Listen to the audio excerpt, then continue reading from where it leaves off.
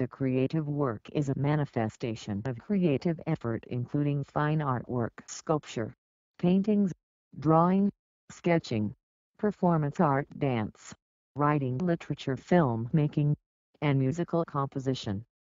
Creative works require a creative mindset and are not typically rendered in an arbitrary fashion although some works demonstrate have in common a degree of arbitrariness, such that it is improbable that two people would independently create the same work. At its base, creative work involves two main steps having an idea, and then turning that idea into a substantive form or process. The creative process can involve one or more individuals. Based upon technological advances as well as artificial intelligence there is the possibility that creative works can be created without human intervention, thereby removing the step of having an idea.